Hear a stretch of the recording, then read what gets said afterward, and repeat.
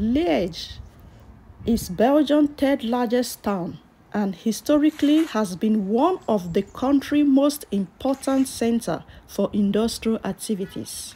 Due to its industrial heritage, Liège is not as pretty as other Belgian towns, so I decided to visit Liège. And when you come to Liège, you must have to visit the Montagne de Bueren. It's just staircase and you have to climb the staircase. So this is me here. I will be climbing the staircase very soon. Getting ready to climb the staircase. So I'm just looking at the staircase.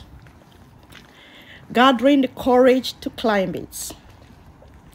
Climb the Montagne de Bueren.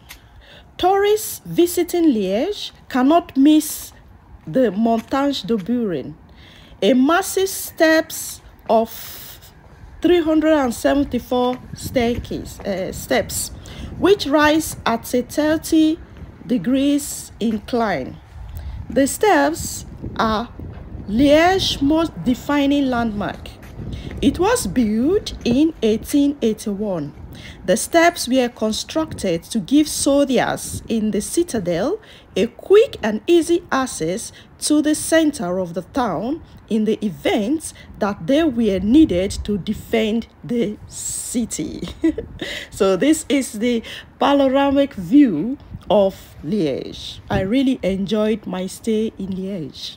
So if you visit Belgium, you can also consider going to the town of Liège to just visit it. It's really nice. I enjoyed my stay there. And on this day, I decided to do what every tourist do, climb the Montagne de Bueren. So now I'm about to start the journey climbing the Montagne de Bueren. I was exhausted when I had to do it. Yeah, when you are climbing down, that is not so difficult. But when you are coming from the city and you're climbing up, that is more difficult. So this is it. Enjoy the journey with me. Love you all.